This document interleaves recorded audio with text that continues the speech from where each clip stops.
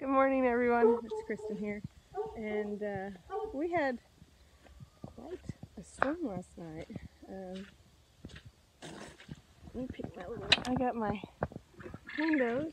Haven't got to use them yet.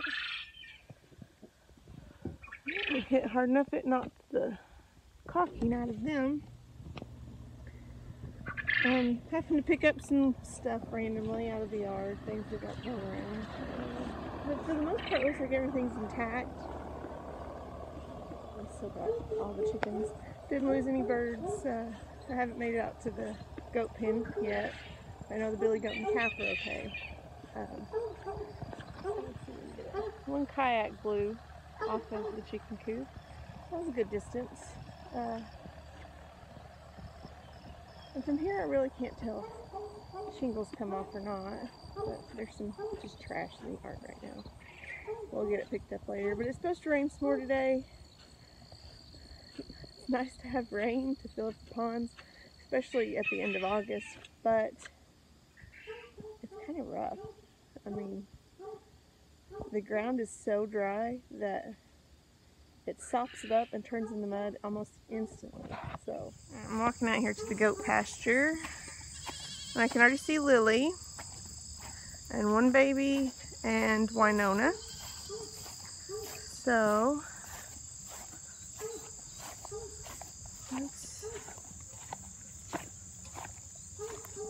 I brought feed so they, they will come up. Come here goats.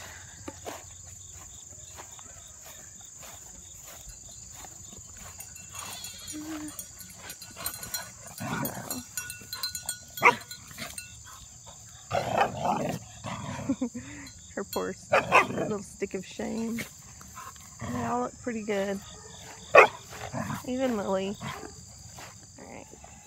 No worse for wear. We all seem to be in good spirits, including Miss Lily. Uh-uh, don't jump. No. Sit down. Good girl.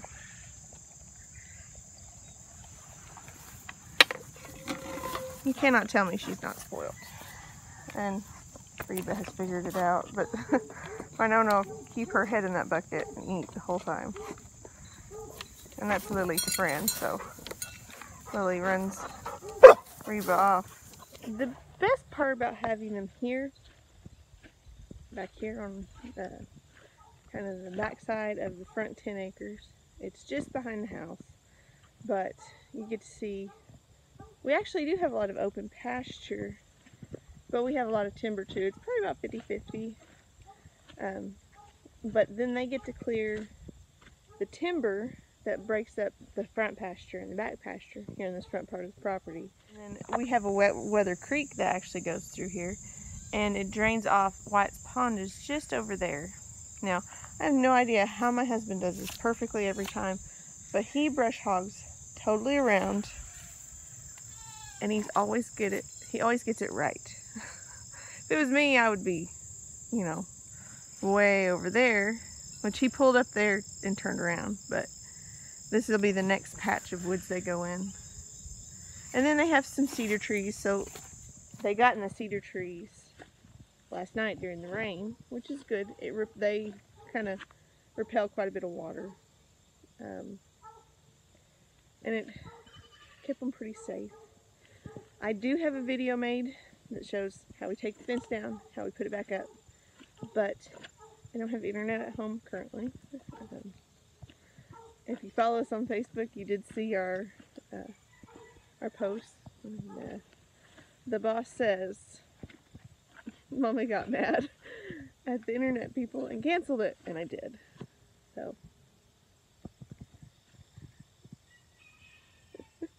Hi, Mia. What's wrong? You're you not happy today, huh? You're you not a happy girl today? Really, other than just a few things that got blown away. And, uh, really, we're in good shape. And take care of the quail, take care of all the animals as I usually do, and see what else is going on.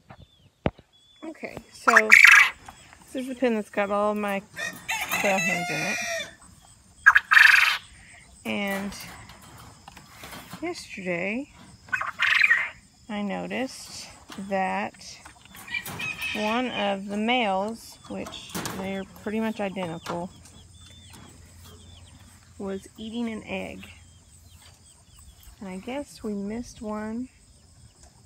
I would guess it was him because he's the one that's eating the egg. Alright.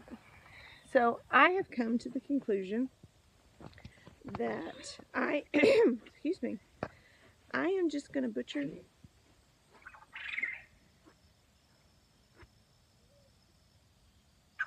I don't know what that noise was. I'm just going to butcher all of the male quail I currently have and all of the male quail that we hatched because they're closely related. And I haven't noticed it with quail. And when I raised quail, I did get eggs from a lot of different sources. That way they wouldn't be related. All my eggs this time came from one source. So they're all closely related. I'm going to order eggs. Ooh, that was a good save. I about rolled off of that top. I'm going to order eggs from somewhere and hatch those out and keep those males for breeding. Well, not all of them, but a handful of them anyway, to use for breeding for my little females.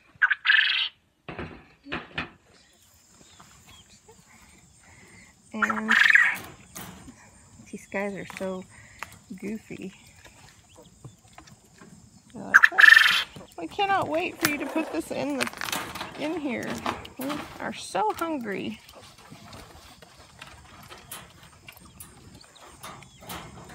It's good. They're super friendly though. They're super gentle, so it's not a big deal that they're. Oh, wasn't even looking at them. they're super friendly, so it's not a big deal. The male, I think it is, is this one right here closest to me. And I got some scraps to feed to some chickens, and uh, then I should almost be done with my morning.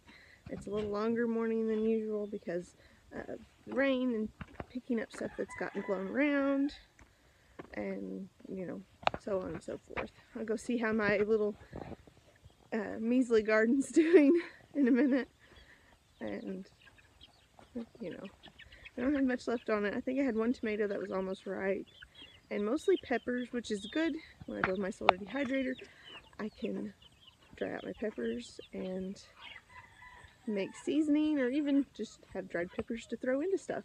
I like that I can do that. As you can see, the Turkens are just fine with their bigger feathered necked friends and it makes me so excited. I really like my little Turkens and I'm pretty sure they're all pullets which is even better Wyatt forgot to get eggs last night. There's four of them, which is about normal for us. Um, great big old eggs.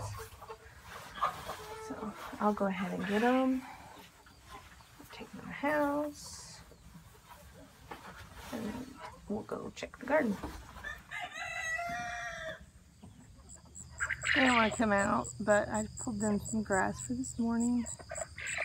And they all look okay. They're still at my house though. The hens do not want to come out for some reason. Before I go to the garden, I wanted to show y'all, like, we are, they started probably right about here, or on this row here, and then here, and now there. And, like, they eat the grass down. They really don't tear the dirt up that much. That's where the feeder was sitting and then I move them to the next spot. They get more grass to eat, more stuff to scratch at. And then we go to the next spot and then the next spot. And I'm almost to the end of this row, and I'll slide them over. And here they'll have dirt. And we'll go that way. I'm just going to show you like how awesome it looks.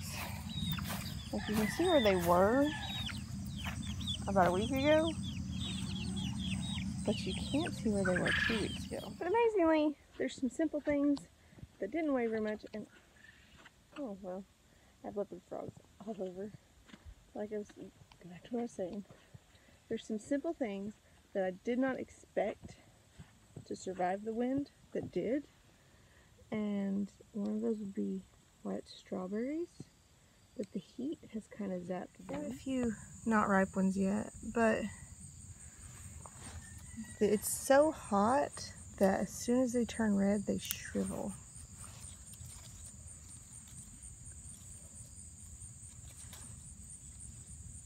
And I've got a few, I got a prune. Like I said, the heat is just, is what's getting all this stuff. They're getting watered. Something ate my one tomato that was turning red. And I still got plenty of peppers. I gotta get out here and weed. But they're still, I mean, they're still putting peppers on. I'm gonna get this pepper out. And they're still putting peppers on. Got a couple more red cayennes I'm pretty excited about.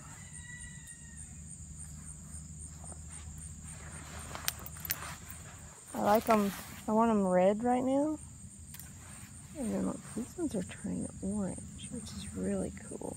I'll pull it and put it in the window. I could do these almost right cayennes. That one's not a cayenne. That one's one of those candy chilies. And then I got green beans, which my trellis broke. I guess in the wind. I need a weed. On, guys. Hmm. There she is. There she is. And Mia today. So, if you like our video, go ahead and hit the thumbs up. We really appreciate it. If you want to see more videos, subscribe to us, hit the notification bell so that you know when we upload new videos. And uh, follow us on Facebook. I do post things on Facebook. And, you know, I'll see you guys soon.